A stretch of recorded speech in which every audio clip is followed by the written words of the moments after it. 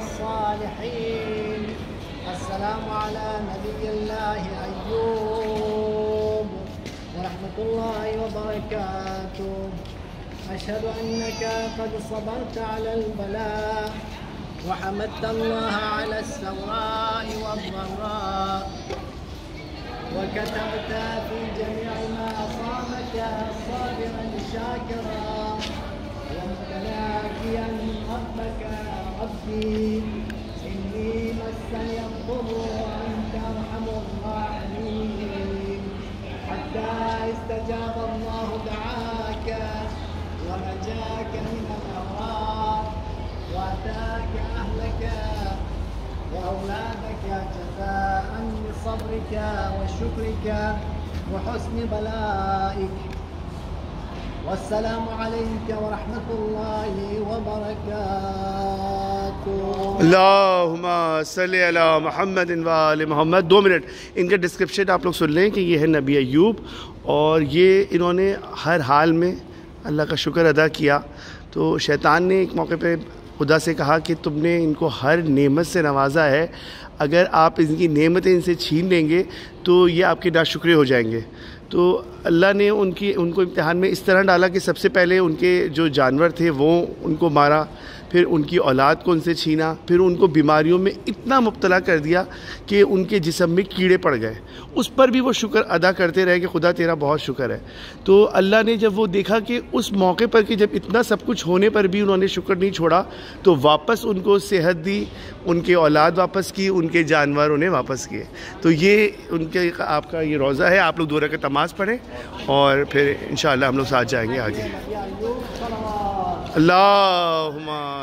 सल्ली अला मोहम्मद वाल मोहम्मद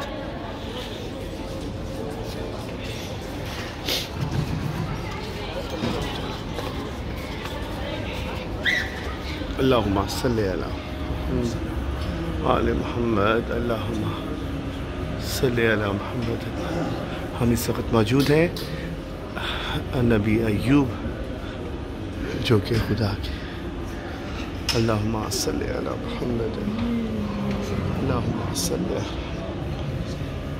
अल्लाहुम्मा सल्ली अल्लाहुम्मा सल्ली अला मुहम्मद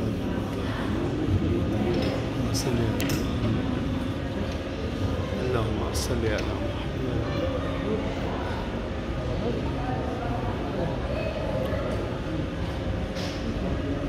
हम इस वक्त मौजूद हैं हिल्ला के मकाम मकाम नबी अयूब अलैहिस्सलाम ये उनका, उनकी कब्र है जहाँ पर अभी हम मौजूद हैं और उनके शुक्र के बारे में मशहूर था कि वो खुदा का हर हाल में शुक्र अदा किया करते थे। खुदा से दुआ है कि हमें भी ऐसे शुक्र करने वाले बंदों में शुमार कर दे और हमें भी हर हाल में शुक्र अदा करने की तौफीक अता करे।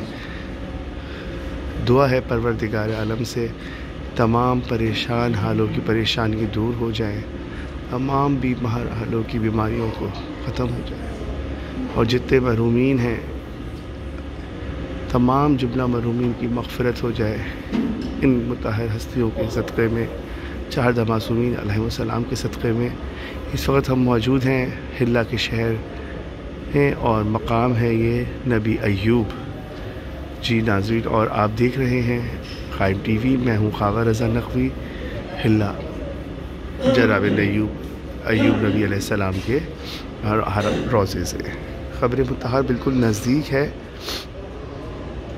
कारवान इमाम हुज्जा और कारवान अभी अब अब्दुल्ला हर महीने अपने ज़ायरीन को ज़्यारत के लिए करबला मौला लेकर आता है, और तमाम हिला मदाइन और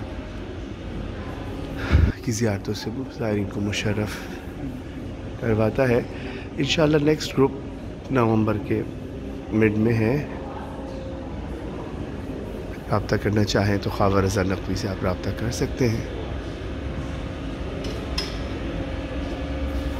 अल्लाहुम्मा सल्ली अला मुहम्मद मोहम्मद व अजल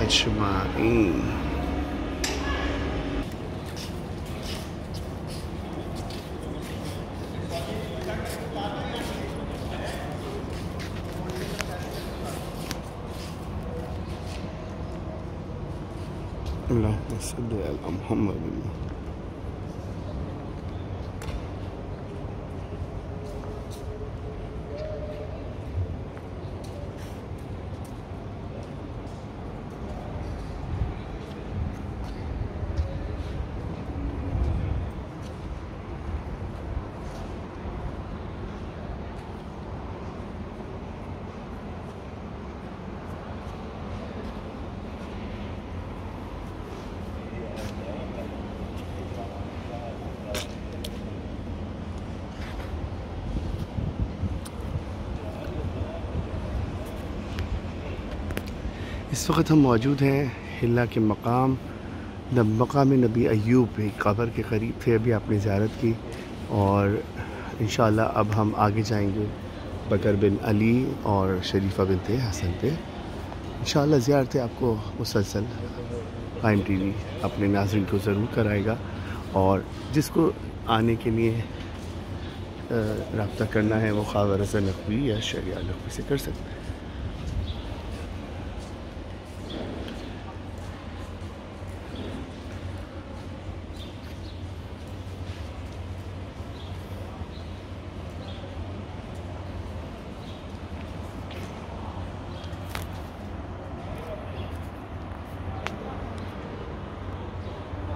इस वक्त हम मौजूद हैं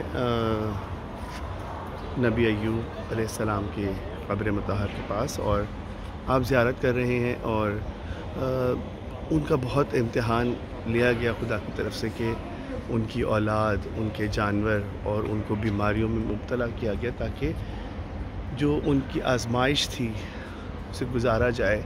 लेकिन फिर भी उन्होंने शुक्र का दामन नहीं छोड़ा और हर हाल में अल्लाह का शुक्र अदा करते रहे। तो उस शुक्र के बदले में खुदा ने उनको दोबारा उनकी औलाद, उनके जानवर, उनकी सेहत उन्हें वापस की और वो अपनी असल हालत में थे। एक सौ चवालीस बरस की उम्र थी उन्होंने जो पाई और उन्होंने इम्तहान दिया और जिसमें वो सुरखरू हुए और शुक्र का दामन उन्होंने नहीं छोड़ा। आप देख रहे हैं कायम टीवी और मैं हूँ खावर रजा नकवी। देखते रहिए कायम टीवी कनाडा